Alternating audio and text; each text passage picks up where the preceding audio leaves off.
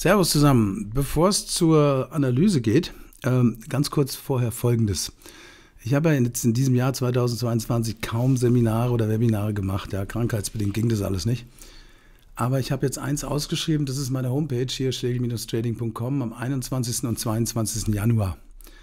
Das wird ein Webinar, das mache ich über Skype. Und wenn man dann hier auf den Button Seminare drückt, ist es also so, das sind, äh, das sind Samstag und Sonntag, das sind erstmal zwei Stunden, dann wieder Pause, dann nochmal zwei Stunden, am Sonntag genau das gleiche. Und jeder, der dann da mitmacht, der bekommt dann hinterher nochmal eine Einzelstunde. Also ich lasse dann die Leute ziehen und nach drei, vier Wochen haben die das alles ausprobiert und dann kriegen die nochmal eine Einzelstunde fürs Feintuning. Und ihr seht ja, was das kostet. Das kostet bei mir 1000 Euro. Das finde ich wirklich nicht übertrieben. Vor allen Dingen, wenn ich sehe, was da so in der Community da alles gefordert wird. Ähm, das ist schon Manchmal muss ich dann Kopf schütteln. Aber wie dem auch sei, so sieht es bei mir aus. Und ähm, da könnt ihr euch ja vielleicht zu Weihnachten was wünschen.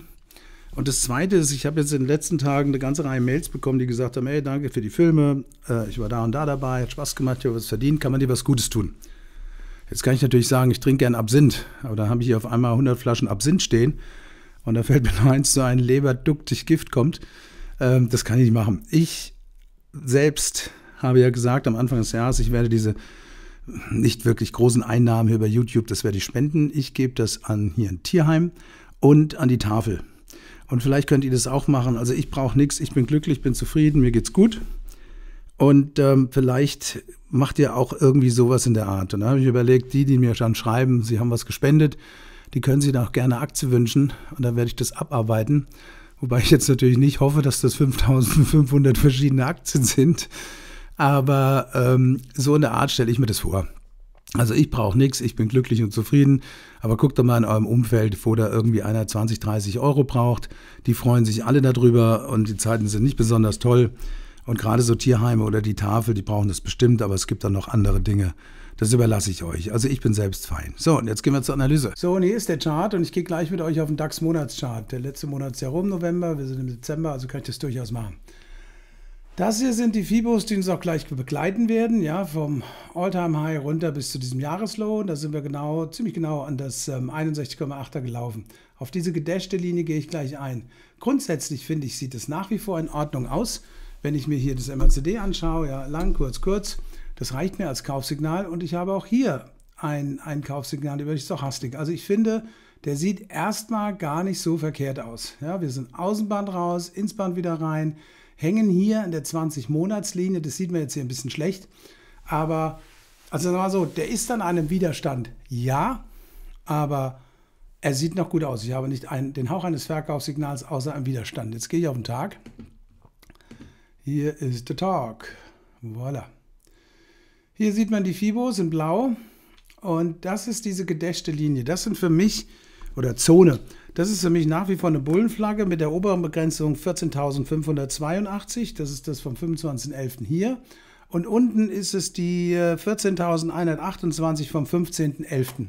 In dieser Range bewegen wir uns jetzt. Die Bänder werden immer enger, immer enger. Der VDAX, ich habe vorhin mal geschaut, war irgendwo bei 20,5. Letzte Woche war der bei 21,80. Der kommt also immer weiter runter. Wenngleich vorhin natürlich auch wieder, das war eine heftige Bewegung da von 14.575 auf 13.000 ich glaube 375 war das. Also das waren zwei, 200 Punkte. Aber da gehen wir jetzt mal nicht so drauf ein, weil der hat sich ja auch fast alles wiedergeholt. Wir handeln im Moment jetzt hier, wir haben Freitagabend 1744 bei 14.539. Der hat sich fast alles wieder zurückgeholt. Wie auch immer. Also, die Bänder, ich mache das so, die Bänder werden enger. Die Range ist jetzt bekannt. Nochmal die Punkte, oben 14.582, unten 14.128. MACD ist ja, neutral. Da kann man nichts momentan, nicht wirklich was ablesen. Die Stochastik dreht jetzt nochmal. Warum ist sie nicht runtergefallen? Weil wir durch den gestrigen Tag eine fette Aufwärtsbewegung hatten. Als ich das am Mittwoch gesagt habe, waren wir ja hier. Und dann sind wir von da aus ungefähr 200 Punkte gestiegen. Deswegen, der nimmt dann diesen Tag hier raus und jetzt der auch raus. Das heißt, die Stochastik rechnet auf diese Zone hier. Also als Tiefpunkt haben wir momentan die 14.315 und wir sind schon wieder in der Nähe des Hochs. Deswegen dreht er jetzt schon wieder hoch. Das ist der Hintergrund, nur das zum Erklären. Ich hatte heute Morgen einen Nasdaq-Film reingestellt und in den Nasdaq-Film habe ich auch so mini, mini, mini Analysen gemacht über verschiedene Werte wie Amazon und Meta und so Zeug. Dann hat der gute Appler aus Frankfurt, der hat geschrieben, das sollte ich doch ruhig häufiger machen. Ich überlege das wirklich, müsst ihr mich mal wissen lassen, ob das was für euch ist. Ich habe mir Folgendes überlegt, dass wir, ähm, oder dass ich Aktien, die empfohlen wurden, also in dieser Woche wäre das Lufthansa, äh, HelloFresh, das wäre Delivery Hero, also durchaus auch kleinere Werte, in diese Filme einbaue. Ähm, ohne Scheine, ohne Nennen von Scheinen, aber dass ich am Anfang sage, okay, hier ist die DAX-Analyse, aber nach den Scheinen, die ich euch vorstelle, habe ich noch, keine Ahnung, HelloFresh, Lufthansa und was war das jetzt? Delivery Hero zum Beispiel. Müsst ihr mir mal sagen, ob ihr sowas haben wollt, weil ich wollte es ungern auf das Thumbnail draufschreiben, weil es ist so viel Text da drauf. Das ist da nicht mein Ding. Zurück zum DAX. Also das sieht nach wie vor alles okay aus. Dadurch, ich gehe jetzt mal auf, sagen wir mal, Viertelstunde, dass wir heute diese Bewegung hatten und fast alles wieder zurückgeholt haben, ja, bis auf wenige Punkte, glaube ich, der Markt ist immer noch, ich sollte nicht sagen verfixt, aber äh, der Wunsch ist immer noch, dass wir deutlich herunterkommen. So, kommt, so möchte ich es mal formulieren. Wir haben aber auch bald Verfalltermin. Ich mache am, ich habe heute gemacht einen Film, den ich aber erst am Sonntag reinstelle, zusammen mit dem Andreas Bernstein für Follow My Money. Da geht es um den DAX selbst, aber nur ganz kurz. Es geht um die FED, es geht um die Zinsen, es geht um den Dollar und es geht um den Verfalltermin, weil da gibt es immer noch, wie hat er das genannt, Mythen um das Lesen des Open Interests. Und damit versuche ich mal auszuräumen. Der ist ganz kurz, acht Minuten, ähm, aber den, den kriege ich erst am Sonntag rein. Was jetzt den DAX hier angeht, das sind nach wie vor die wichtigen Punkte. Und erst wenn wir das mit Schlusskurs über- oder unterboten haben, wird es für mich interessanter. Irgendeinem habe ich geschrieben, er soll sich einen Wecker stellen. Vorher kann man zwischendrin rumspielen. Aber mir ist das zu stressig. Also zu stressig im Sinne von, da muss ich den ganzen Tag vom Bildschirm sitzen. Und das will ich einfach nicht mehr. Das ist nicht mein Ding. Ja, das ist der Punkt. Wenn das gebrochen werden sollte, nach oben, haben wir nach wie vor hier die 14.709 war das, ne? 709, das ist vom 6.6. und danach nur hier vom 29.3. die 14.925. Das sind die beiden einzigen Punkte. Nochmal, die Bänder gehen zusammen, das tun die sich nicht mehr lang an. Ja, ich wollte, ach, Graziste, ich wollte mal einschauen, weil wir haben nämlich von der Woche her, das ist nochmal eine positive Woche. Eins, zwei, drei, vier, fünf, sechs, sieben, acht, neun. Also mit einem weißen Körper. Die neunte in Folge. Ich habe es letzte Woche gesagt, ich habe nur einmal das gefunden. Das war, glaube ich, 2015. Da waren es zehn.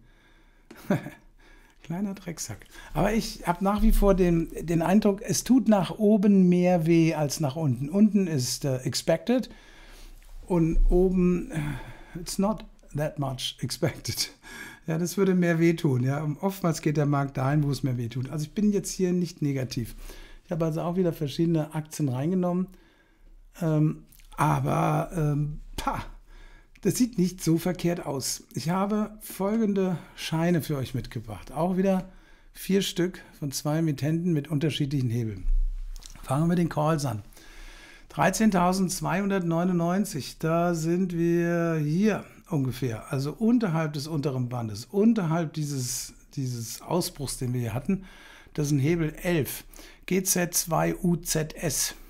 Ja, der ist durchaus für die Leute, die es ein bisschen bequemer haben wollen, gedacht, wenn wir hier drüber gehen. Aber das ist die Conditio sine qua non über die 14.590 mit Schlusskurs.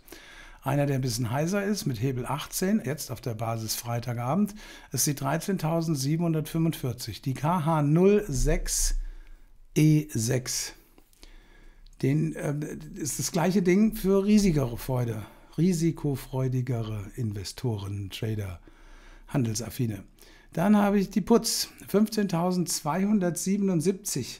Den habe ich hier hingelegt. Moment. Hinter, hinter diesem Punkt, hinter diesem Punkt, also 15.277 ist hier.